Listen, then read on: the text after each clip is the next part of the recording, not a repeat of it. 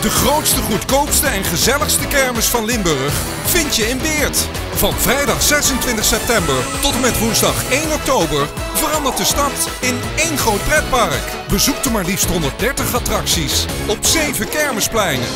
Maak er een mooie kermis van met ons in Weert.